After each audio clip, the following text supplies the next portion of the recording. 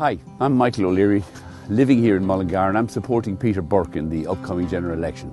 I've seen a close hand over the last year or two the great work on the ground Peter's done on behalf of Longford Westmeath constituency. He was particularly active in helping us to secure funding for the exciting new development for the Mullingar Harriers Athletic Club. He's a good guy, he's doing great work in the constituency, and I'll be voting for Peter.